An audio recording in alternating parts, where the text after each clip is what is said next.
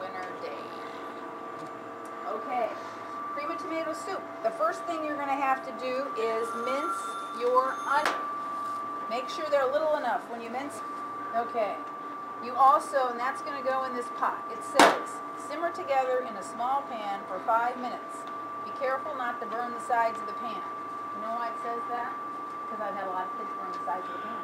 Okay, so that's just a heads up. Just a heads up. Be careful because you're putting a little sugar will burn. You need two pans. You need a little pan like this for the tomato juice, and you need a little bigger pan that you're going to actually make the soup with. Okay? Do you need to weigh the margarine with? Okay. And then we needed some flour, and it is also weighed. And then we needed a cup of warm milk. Okay? So we have everything we need. We're all ready. We're all ready. We can finally go to the stove. Okay? So you can put your, your butter in the big pan and put it on a pilot light. While you are dealing with, put the butter on the pilot light. Don't turn it on, just put it on the pilot light and then deal with the tomato juice. Okay? Just let it sit on the pilot light while you're dealing with the tomato juice. Okay? You've got to put the tomato juice in here. And you could have put it in up there on the counter. That will be fine. Make sure you like scrape so you get it all in there. It's always a good idea. And then you're going to have your onion, which is going to be minced really little because you don't want a mouthful of onion. and we'll cut the onions like so they're in eighths or something, and then you'll have to, you might have some to put back. A teaspoon of sugar. Why do you think we put the sugar in there? Anybody want to guess? Tomatoes are what? Acidic, okay? And so you don't want the soup to be so acidic. You put a little of that in. And then you're going to put in the bay leaf, okay? Okay, and it says we're going to simmer, so simmer would mean, and do you think that flame's too high? Yeah. Okay, so turn down the flame. Something has to happen now. What has to happen? It has to come to a boil, so it has to be bubbles. You want to stir to make sure, you know, it's okay. But if you stand here and stir, do you think it's going to boil? No. No, it's not going to boil. And then you're going to get frustrated. And then who's ever helping your group is going to get frustrated. They're going to say, it's not boiling, it's not boiling, it's not boiling. So it can just sit there for a minute. And you can go back and look at your recipe and say, simmer in a small pan for five minutes. So it's got to come to a boil before I can start my timer. We're going to leave it just like that. Stir. We got to stir it. We got to stir this all up. Okay? Oh, good. You're boiling over here. Okay. Oh, I don't know where that timer is, so we'll just look at the clock. Stir. There we go. Okay. So how long did that take to boil? Not very long. A couple minutes, right? Okay. Hopefully your margarine's getting all melted while your tomato juice is boiling. Okay, so that's what that looks like, right? That's what that looks like. And I'm going to go back here so it's closer to me. Do I want a flame that big to cook my roux? Probably not. I probably want a pretty low flame because there's not very much in my pan. How long does this have to cook, this roux? Four days? Two minutes. A tomato soup, okay? And interestingly, do you notice that we I'm using two high heat spatulas, and most of you only have one. So you're probably going to need to borrow another one or wash yours between. Okay, there we go. We're bubbling. Get those bubbles. Get those bubbles. Okay.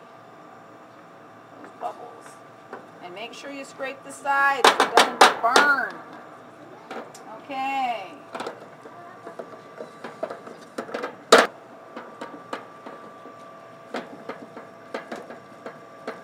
This is going to turn out perfect. So you have three recipes you have to mise en place. You have to turn them all in so that they can get those ready for you before you come in at 11:20 because you're going to need your whole lab to get done, right? Cookie wise or soup and icing wise. Is done over here. How long was this roux supposed to cook? Two minutes? Okay. Sure we'll cook two minutes. Last time most of you did really, your soups were really good. Okay, so I'm thinking this time you're going to be really good again, right? That is like a first. That's a first. So you did a really good job. You did a really good job with those puddings. I, we had a lot of A's and B's. A lot of A's and B's. Okay. This has now cooked for five minutes, so we're gonna turn that off, and that's cooked enough. Okay, there's my roux. I got roux, I got tomato juice. I gotta go backwards, because I gotta get the bay leaf out of here. You don't want me coming to get a taste of your soup and eating the bay leaf, okay? So take the bay leaf out, all right? You had your spoon for that, right? Okay, what's it say? They want us to add the tomato juice and cook until it thickens, and then we're gonna add the warm milk, okay? Oops, wrong way. We want this one. This one. Okay, now we only need one spatula again.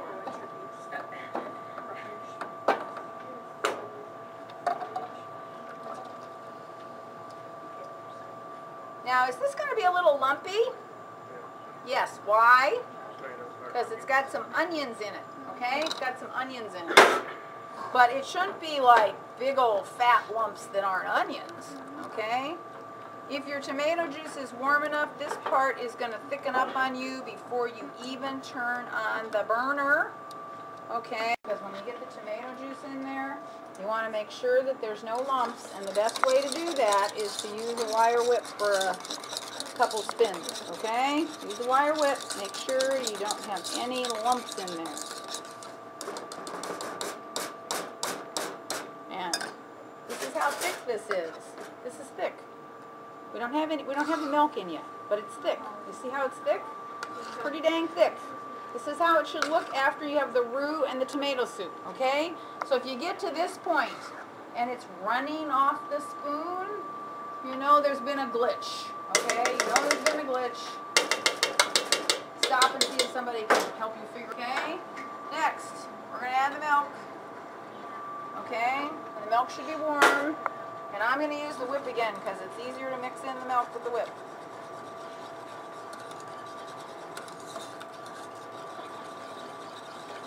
Did I turn the flame on yet?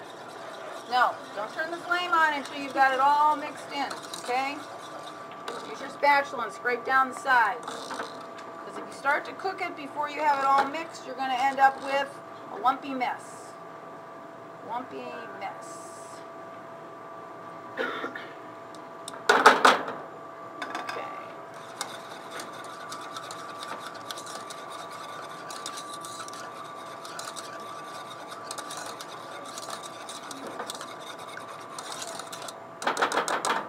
Okay, now. Now it's runny again. It's not thick enough. Not thick enough. We gotta cook it. Okay? Just wanted you to see what it should look like. Flame on. That high? No. No. Okay, turn down. We all got the right and the left thing, knowing which burner? Yeah? You got that nailed? Okay. Okay, what does it have to do? What does it have to do? Slowly add milk. Keep stirring till it's thick and cooked. Okay? And so this is where when you think it's done, you have to come find me so that I can taste it right at this point. Because if it sits for, you know, an hour, it'll probably get thicker, right? Yeah, because why would- does it get thicker as it sits? The moisture's flashing off, right? Okay, so a good idea, it would be to put a lid on your soups, and then you can heat them up a little bit before you go to break. So add to that list, the big pan needs a lid that fits. The pan you make the soup in needs a lid that fits.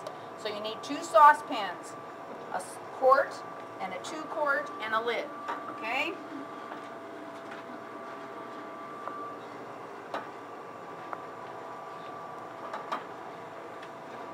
Okay, while we're waiting for this to get cooked, what are the six sizes of eggs?